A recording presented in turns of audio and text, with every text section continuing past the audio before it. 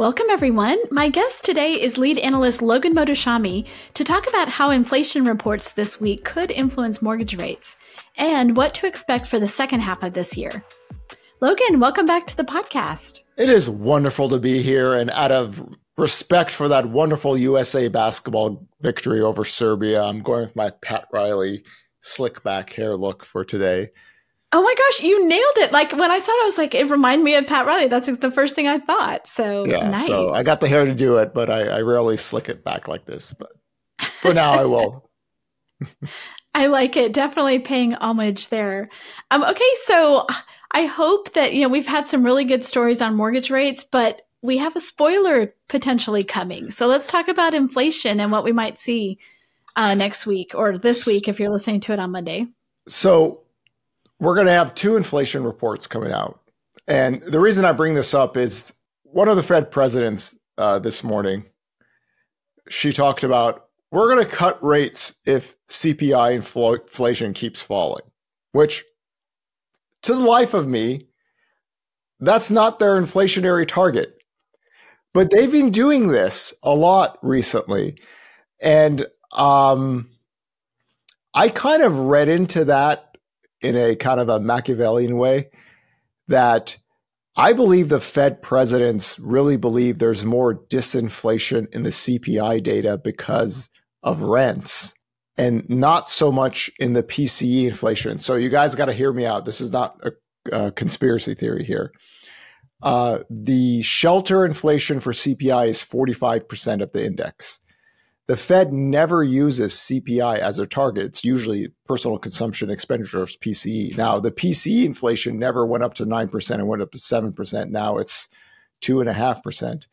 Um, and uh, there's, there's more room to go down on CPI. So I'm trying to like, I was trying to figure this out. Why are they talking about CPI more than they used to? I think they got to all got together and said, "Hey, listen, there's going to be more disinflation in the CPI inflation report." Now, this actually happened uh, recently.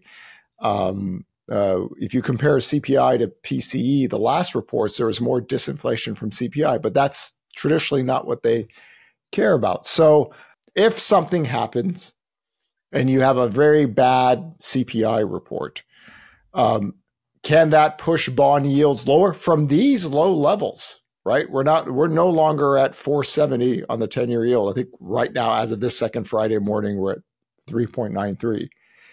But if that's the game the Federal Reserve wants to play, that you're you're playing you're playing cat and mouse with inflation data that's going to have a very you know hard base effect in the second half of 2024 meaning that you know the comps are going to be really tough to show noticeable year over year growth so, or decline. So you really need to start focusing on these monthly prints. And I, I believe that they're talking more about CPI inflation because they think that that has more disinflation and that can give them a little bit more cover on rate cuts.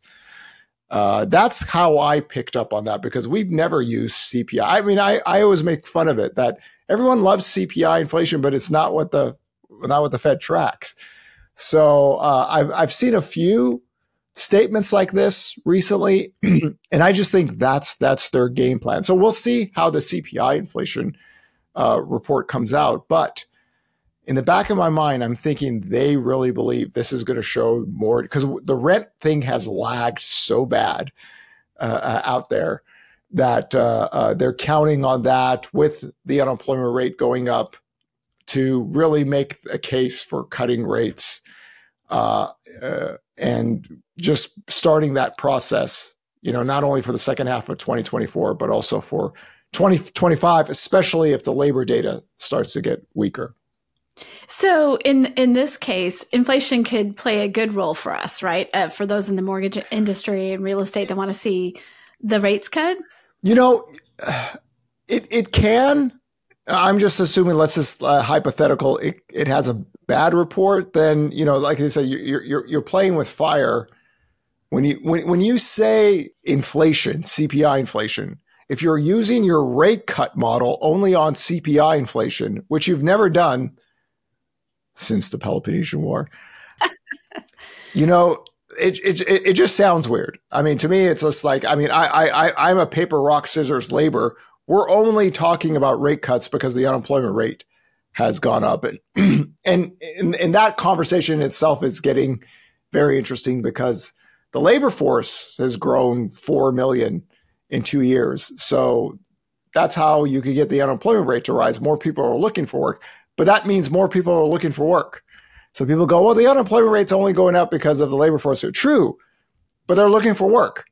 so if the jobs data is narrowing down to just a few sectors and you have some concerning data lines, especially in construction, it means something. So we're getting into a really, really funky, weird stage of what Fed presidents are saying in public and how economists are looking at uh, uh, data and what's the next stage uh, could be. But they don't have to do any of this.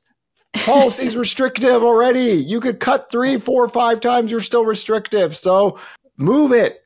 Just move it. But I, I, I it was curious to me that on a Friday, uh, that was used uh, uh instead of the traditional PCE inflation data.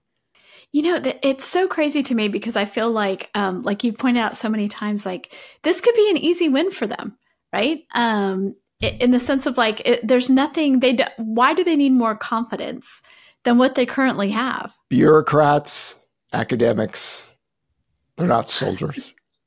they're not ball players. they are, in a sense, somewhat almost like puppets an institutional puppet. So they got these, they have to come up there and they have to keep their dual mandate of stable prices and uh, uh, employment, keeping people employed. So that was the who spiked the Fed's eggnog. Something changed in 2022 because I pick up terminology, pick up sentence structures. There's you could just totally tell something changed, body language on how Powell was talking about. But I believe, like I've always believed for the last two years, when the labor data gets softer, they feel better that if they cut rates and inflation is out to 2%, hey, in the employment, if inflation picks up a little bit, hey, it's employment. That dual mandate gives them cover, even if you have a few bad inflation reports. But again, we've gone from 9% CPI to 3%. Like if I go back to 1914, 3.3% is the average. We've gone from seven, a little bit above seven percent on PC inflation down to two and a half percent. You know, uh, the PPI inflation was like fourteen percent, and it's come down to even negative on some of the data lines. So it's just cover cover. Well, while we're on the topic of the Fed, we had um, some interesting news come out of the press conference yesterday that uh, former President Trump gave, which he was talking about the um, a lot of topics, but when it came to rate cuts, he said he thought the president should have more direct influence there. And of course, when he was president, he tried to, you know, he he put Powell in place as chair of Federal Reserve, but then tried to pressure him quite a bit and is now saying that he thinks any president should have more control over interest rates. Is anyone else shocked? No, no, not shocked. It's just interesting because I, I do think the independence of the Federal Reserve, as much as it can be frustrating to people in different areas across the board, whatever you think of them, it's pretty important to, you know, the overall monetary policy, right? So um, I'm I'm going to look at this in a coaching aspect. Trump is, in a sense, loves lower interest rates. Real estate does better, and the dollar goes down. Um, that's what he wants. So uh, you kind of have to work the referee in public. When a coach yells at a referee, "Hey, hey, hey!" The co- I mean, the, the the coach can't make the call on the court, right? But he can harass the uh, referee so much that all of a sudden he gets a few calls his way. So think of Trump in that manner. He knows he can't do it. His staffers know they can't. They, they could try some legal things. It can't happen. But if you work them in public, especially with where inflation is now, um, hypothetical, let's just assume Donald Trump is the next president. I guarantee you he is going to go rate cut galore on the Fed every single day. He's going to say, "Look, inflation is down. You're you're you're ruining how he's going to work the referee. That's kind of what he does in public. That's how I that's how I look at. It. I, I don't see this as like a threat of independence. I just see a coach trying to, you know, push something, and then the public gets to see it, and then everyone's human. Do you actually make a move? So that that's how I that's how I view it. I don't view it as, you know, he's gonna he's going to have a direct authority. I mean, you you'd have to do some really crazy legal things for something like that. So just just look at him as a coach trying to work the referee for the game. I do think it's funny because at the end of that he was like, "But don't do it before the election. They should be cutting rates, but they shouldn't do it before the election." Is that is that is that shocking too? You know, no, try to get the. No, I mean, you you have to remember there's a there's a lot of people that were very bearish on the U.S. economy and have staked a career on a recession in 2022, 2023, and 2024, and it hasn't happened. Right? We haven't had a job loss recession where industrial production goes down and real wages go. I mean, God, I could go so nerdy, Sarah, on economic data about how recessionary, but I won't. So that hasn't happened. So what you need is you, you want the Fed to stay restrictive as policy to get you there. And people are seeing the unemployment rate rise. They're like, yeah, don't cut rates. Don't cut rates. When I'm in charge, oh yeah, let's get cut rates. Let's do QE. Let's see. So right. humans, humans are humans, right? This is this is this is trying to win a game. So um, yeah, that, that it's not shocking that he said that, you know. So this is the world we live in, Sarah Wheeler. So it's we just true. gotta we it's just gotta true. play with the you know the, the the the players on the chessboard and see what happens. And between here and the election, all bets are off. All sorts of things going on. So let's talk about um, what we're looking at for the rest of this year. So the second half of 2024, you've made a lot of statements about how it's so different than like last year or especially 2022. What should we be expecting between now and the end of the year? This is a very, very good economic discussion on housing. Um, the second half of 2022 was this historic, I mean, absolutely historic crash in activity. I mean, just the waterfall of waterfalls. You'll never see anything like this. And uh, what it did is effectively uh, now there's weakness in pricing in the second half of every year. That's why if you look at the median sales price index, it goes up the first half traditionally and it goes down. By the way, there are a lot of people who still try to do this grift about not show. Sarah, this is this is hilarious. They'll take the first half of the year and cut the chart out and go, look, home prices were falling in the second half of 2023. There's literally people who thought home prices fell 15, 20% in 2023. So they try this grift. It's YouTube trash, Twitter trash. But um, so this always happens. You have to realize that the the first, you know, six months of the year, the gains and then the losses, and then we average out how the year ends. 2022 had authentic price declines. You know, there and it wasn't because inventory was so high. It wasn't because monthly supply was so high. It was literally the greatest short-term shock that created the fastest crash in sales to where the products that were coming online for the first you know few months of 2022 we're working off a three to four possibly maybe at worst case five percent you know mortgage rate and then we went from five to six six to five five to, the whole thing was c- complete chaos. Very sloppy by the way. Um, but in that case pricing actually did decline. Now i think what i'm what i'm seeing is that people are not getting why aren't prices crashing because inventory is higher now yeah. than it was uh, uh, in 2022. Monthly supply is higher. The price cut percentages that we show on our data lines are higher, but we're not seeing these big national home price declines yet. Now, I've since the end of March, when we, when our data lines started to show inventory growth, we said, or at least I said, uh, the price growth data is going to slow, especially in the second half. The comps are harder, and we're going to have authentic. Now, I haven't been right uh, uh, uh, in that sense, but I still think by the time the year ends, uh, it'll it'll show up more in the data lines. It, it, I, based off of my forecast of 2.3 percent average nominal home price growth nationally. But I think what people are confused about is like, why isn't it declining more, or, why is the pricing still so uh, uh, effectively high? And it's just, it's just one of these things where I, I, I was having this conversation with someone, and I told a person, uh, inventory was higher from 2014 to 2019 than where we are today. Monthly supply was higher.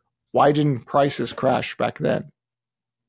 Person didn't know right? Couldn't couldn't answer the question. We had higher inventory with more monthly supply, and then the I, I, I was surprised the person didn't get it. I said, "Well, guess what? We had more home sales back then, right? The supply and demand equilibrium was sales were much higher." Monthly supply was higher back then, inventory was higher, but that supply and demand equilibrium was stable. So prices grew, nothing spectacular in the in the past decade. Here, we have very low levels of sales. We still have historically levels, low levels of inventory, but we don't have sales crashing anymore. That's the difference, right? 2022, the second half had the fastest crash in home sales ever. So for those of you that might not have followed uh, our work in the second half of 2022, when everybody went, this was the peak of housing. The theory I had was just a theory, which you should never believe in a theory. You need to show it that home sales were going to get down to 4 million. And this is just when we broke under 5 million. It was a crazy call if you think about it. I said, we're, it, the forward looking indicators look like me. We're going to hit the 4 million. And if it stops there and rates fall and demand, you know, stabilizes, the whole 2022 story went away. And what happened? It literally got to 4 million exactly. Rates fell, the forward looking indicators got better, and by the time people figured out the housing dynamics change, it was like six to eight months after the start of 2023. It's like home prices hit all time highs. This is what you need to track going out for the rest of the year. But you can't use 2022 anymore because we went from six and a half million sales or around there at the start of the year down to 4 million. Here, 4.8, 4.38 million was the so far the monthly uh, sales high. That was the time where we wrote that article about saying, hey, guess what? Uh, I think this is the peak of the sales, the monthly sales print. And so far that's been true. Unless rates fall, I think that's it. But the the decline in demand just is not the same, right? We have like two and a half million in, in 2022. We just have a couple hundred thousand right now. So uh, price growth should cool down. I'll I'll eat my words if it doesn't happen, but uh, it's it's also structurally not that kind of marketplace where home sales are crying. I mean, everybody that lists their house kind of also knows that where mortgage rates are, where payments are, and everything. And again, if most sellers are buyers, then here it is. And we're going to have the second lowest new listings data ever recorded in history. So the days on market are growing, inventory can rise. That's the whole higher mortgage rate thing. But the supply and demand equilibrium is so much different than 2022 because we don't have this waterfall crash in demand. So, from your perspective, you know, is this going to be like, oh, okay, we're just going along? Or are there any big surprises that we should be worried about this year? So, here's here's a hypothetical possible surprise. Now, there are people that say, well, mortgage purchase application data is not reacting uh, as well to lower rates. Okay, so let's just remember the last two times rates fell more than 1%, it was November, December, January. Purchase apps are very seasonal. So it's seasonality, January all the way to May. After May, volumes fall. Just a hypothetical. If rates keep on going lower, and so far, out of the last nine weeks, we've had five positive prints and four negative prints. So it's actually positive because before that, we were all negative, right? It was a very negative year this year if that occurs, you, we can have pending home sales pickup or sales pickup. See, I, I, have to explain this because people still ask me, how did pending home sales like beat estimates? It was supposed to be down big. And I said, guys, guys, look at June. Look at June. Oh, wait a second. You don't read the tracker. I'm sorry. How would you know? I'm sorry. My bad. My bad. It's okay. You wouldn't know. So we had three straight weeks of. It, again, it doesn't take so much. So a hypothetical theory is that if rates keep on going lower and we still have these positive weeks, you could get sales to pick up a little bit. And then uh, we get ready for 2025. That that that that would be a little bit different than what we've seen. And we are oh, oh God, talk about low comps in October right? Uh, we we are going to have some of the lowest year over year comps in maybe history, uh, especially on purchase apps. So don't be surprised if we have some positive year over year purchase application data, which we I don't think I, it's like two years since we've had a positive year over year purchase application data print, but it's only because the comps are so ridiculously low. So that is something that could happen. Let's just mortgage rates fall below 5.75%. Demand picks up just a little bit. Just picking up just a little bit changes it because we're working from such low levels. So I want to jump in here and say that we are having an economic summit in 2025, early 2025. You're going to be our keynote speaker. We're super excited. We're getting a lot of people in there so uh, people can know like you know what to expect on all these different things. And the angle is going to be not just like information but like how does this information inform people's decision making on their business for real estate and for a mortgage? So super excited about that. Uh, mark your calendars. We're still looking at dates but um, if it does happen that. in the month of february that's that's enough time to get the forward looking data set up. Um, again we i always heat map heat map uh, purchase apps second week of January to the first week of May. So if it does happen in spring, we'll have an idea, but also our weekly active inventory new listings data that nobody's going to get that information until months ahead. We also have a better idea of how spring looks in that. And again, toward the end of last year, when I kept on going on CNBC, I said, hey, listen, new listings data is bottom, new listings data is bottom it's going to grow and if it's growing active inventory could grow. You have to like be careful of the mortgage rate lockdown person you know especially if her name is sarah. And then just we kind of uh, work off of that and move that forward. And guess what happened? Inventory grew. That's the best part of 2024 for me. So if i'm smiling a little bit more it's because of that. And look what happened.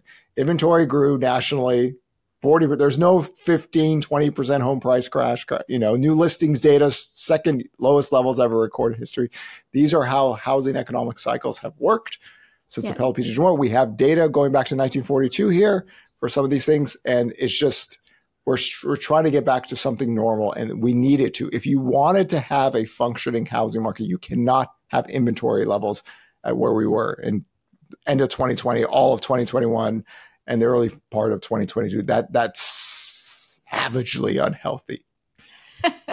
we no one wants that. No one wants that to come back. Yeah, we're looking at the maybe the second week, sometime after uh, uh, Valentine's Day in February. So uh, it'll be interesting. I think we're going to have it here in Dallas. That's where we're having our one day summits. But um, Logan, thank you so much for being on, and thanks for explaining all the things that we need to know about inflation, rates, and more. And just remember, you're a coach. You got to work the ref. Uh, working the ref does good, especially in this day and age. So I would say talk to you soon, but um, I'm going to be on PTO next week. Uh, well, the, the week this comes out in Hawaii, so other people are going to be. What's PTO? Oh, is that like I, a vacation? I know. You don't know what that is. Is that is that like a vacation? Like, do you like? Okay. I I like think about this. Like, can I ever take ten minutes off? So you even, could, as far as we're concerned, it's your own. It's your own thing that makes you. I know. I, I, I, it, it's lovely. Everyone loves vacations, but I was thinking, whenever I go traveling, eh, I never stop, and I go. it, there, it's such a fear of like missing out on information. You know, that's that's yeah. just like I can't, I can't, I can't ever, I can't ever, I can't, I can't ever stop. I can't ever let it go.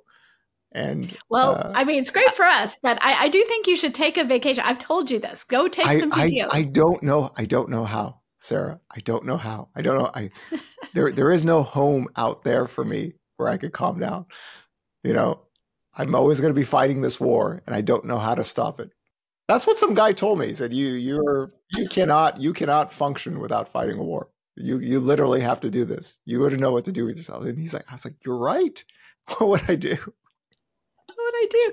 Well, uh, I'm excited for some of the guest hosts we'll have on HousingWire Daily this week, and especially uh, interviewing you. So I will see you later. Pleasure, Sarah.